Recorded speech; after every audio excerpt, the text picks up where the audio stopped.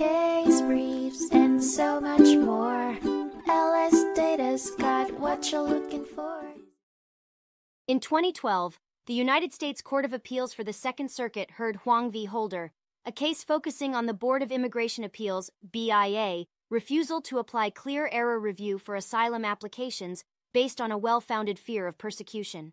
The case involved Hui Lin Huang and Zeng Yong Zhou, a Chinese couple who entered the U.S. illegally and sought political asylum due to Huang's fear of forced sterilization and a fine for violating China's family planning policy if they returned to their home country. In 2008, an immigration judge granted Huang's asylum request. However, the BIA overturned this decision in 2010, and the couple filed a petition for review. The main issues in the petition revolved around the BIA's ability to disregard the immigration judge's finding of future persecution and the proper review process for asylum applications. The court found that the BIA was correct in its application of the standard of review and that the finding of future persecution should be subject to clear error review. As a result, the case was remanded for further consideration, with one case being granted and the other dismissed without prejudice, allowing potential reinstatement if necessary